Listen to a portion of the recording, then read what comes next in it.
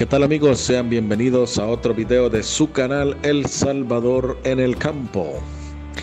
Aquí estamos continuando con la información que hemos dado en otro video, que esperamos hayamos aclarado por lo que he leído en los comentarios. Pues creo, creo que están bastante de acuerdo con lo que planteamos de que para que un animal sea bueno no necesariamente tiene que ser de un país eh, que sea brasileño, colombiano, costarricense. No quiere decir que necesariamente será mejor que un criollo. Hemos hablado de que no es importante en sí el color del animal y o si es producto de monta natural o de transferencia de embrión o fertilización in vitro o inseminación. Todo eso no tiene nada que ver, no estamos diciendo que nada de eso sirva, cada una de esas cosas cumple su función, ya nos extendimos en otro video sobre eso. La pregunta hoy sería, ¿qué es lo que realmente hay que ver para tener garantía de un animal? Bueno, según consultamos con los que saben, es la genealogía del animal. Es bueno saber quién es la madre, quién es el padre, de qué genética viene. Los genes, que es la, es la genética que yo estoy comprando. Entonces, amigos, eso es en lo que tienen que fijarse. Por eso algunos ganaderos cuando presentan su ganado suelen decir quién es el padre o incluso quién es el abuelo.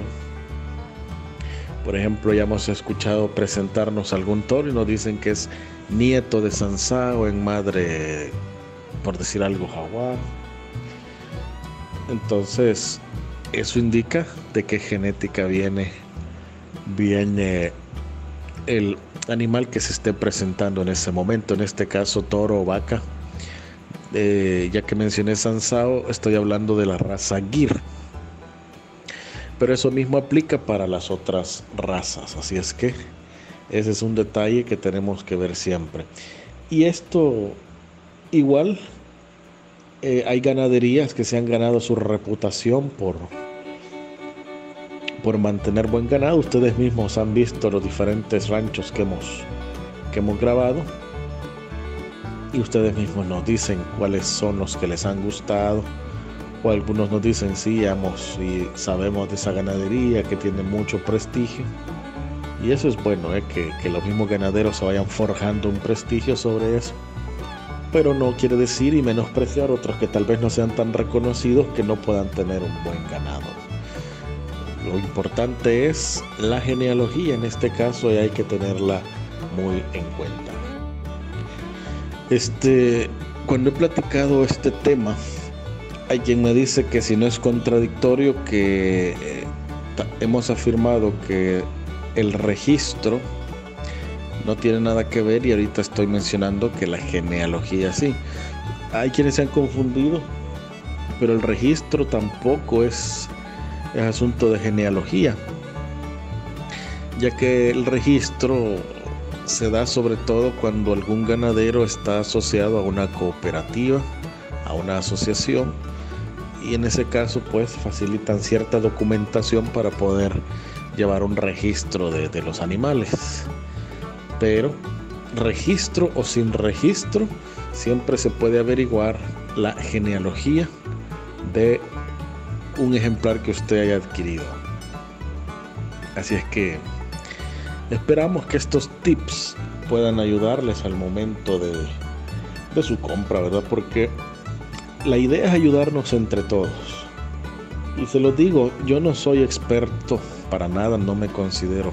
Y por favor, ahí perdonen si decepciono a algunos, no somos expertos.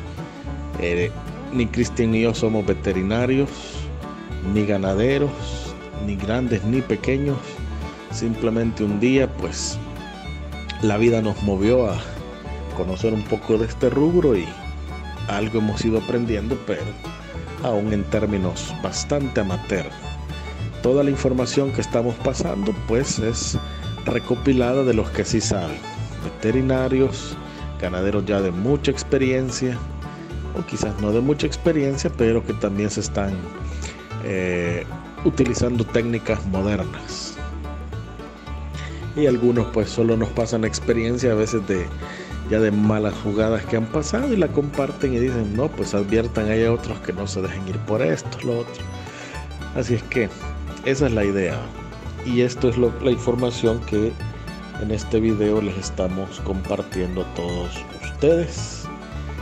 Y lo hacemos mientras disfrutan de estas imágenes de algunas de las ganaderías que hemos podido visitar. Y para no decir solo, no solo hablar y irme en blanco, sino que hay para que también usted deleite sus ojos en estos bonitos ejemplares de ganado. Y sobre todo, recuerden lo, lo que hemos hablado sobre los precios. Voy a recalcar que si son animales puros, pues el precio será un poco alto. No se sorprenda si de repente 3 mil, 4 mil, 5 mil. Yo lo más caro que he escuchado y creo que me voy a quedar corto es un toro.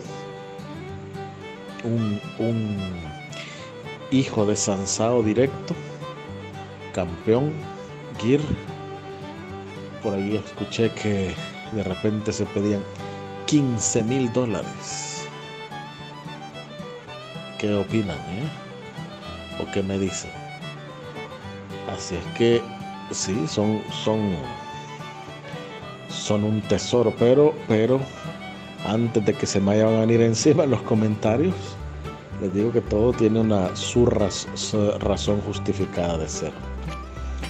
Así es que queridos amigos, díganos, yo la verdad pensé en su momento que me parecía un precio excesivo, pero he ido de otros lugares donde se han vendido ejemplares hasta de 25 mil dólares, 30 mil.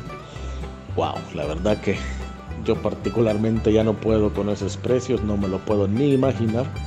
Pero así es y de seguro ustedes conocen mucho más que yo sobre este tema. Es más, si conocen algo, coméntenlo ahí que eso, como les he dicho, nos va a enriquecer muchísimo.